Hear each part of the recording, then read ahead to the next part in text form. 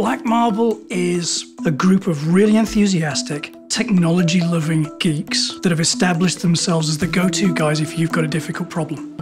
DevOps is a big part of Black Marble. It bridged the gap between IT and operations for us.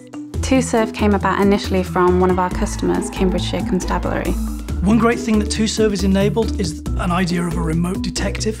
When officers are on the scene of a crime, they're gathering evidence and feeding it into the TruServ event dashboard.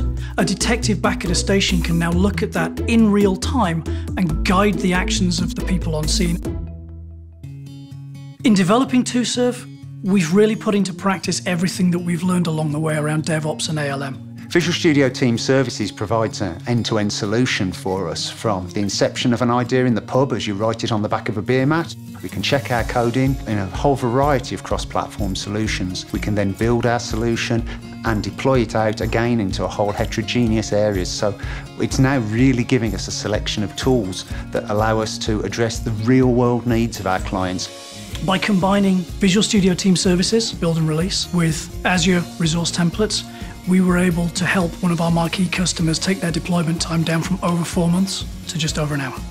We've quadrupled our DevOps practice over the past year. The risk if you don't keep up to date with the new technologies that enable DevOps is that you'll be left behind. It is important that our clients trust us, and the fact that we're a Microsoft partner is very important to them. It gives our customers the confidence that even though we may not be the largest supplier on the block, we have a proven track record of delivery and we have a very big friend standing behind us to support us. Knowing that we're transforming policing is a big part of why I love my job.